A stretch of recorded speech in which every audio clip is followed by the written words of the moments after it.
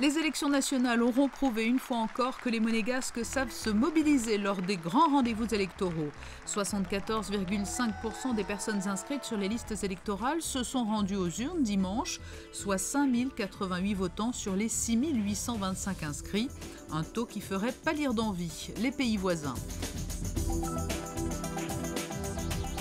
C'est à 3 h du matin, dans la nuit de dimanche à lundi, que les résultats des élections nationales ont officiellement été annoncés.